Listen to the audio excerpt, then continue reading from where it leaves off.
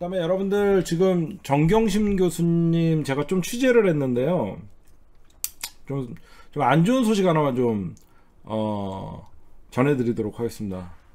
어, 지금 정경심 교수님이 지금 몸이 좀 많이 안 좋으셔갖고요.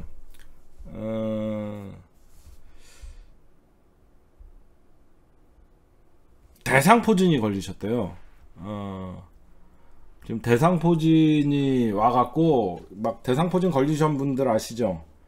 어, 대상포진이 와갖고 어, 제가 취재를 좀 해봤더니 어, 엄청난 고통이 하거든요. 그래서 대상포진이 좀 많이 예, 심하신가 봐요. 그러니까 여러분들 어, 우리가 할 수 있는 것은 어, 지금 저희 방송의 그 외국 분들 어, 해외에 계신 분들뿐만 아니라 지금 탄원서 유일하게 여러분들 그 탄원서가 우리 민주 시민들 여기 클릭하시면 민주 시민들께 정경심 교수님 탄원서 동참을 호소합니다.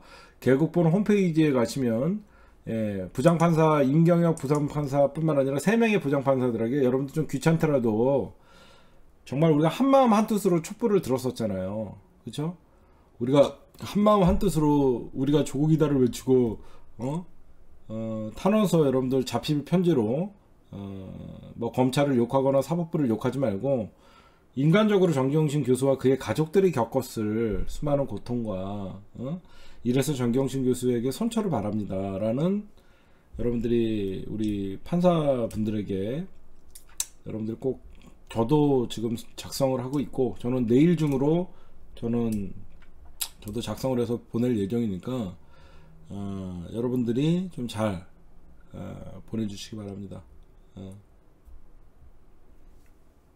네 오늘 어, 윤석열 특활비 사적으로 쓰면 업무상 배임행령죄 국고손실죄 처벌해야 된다.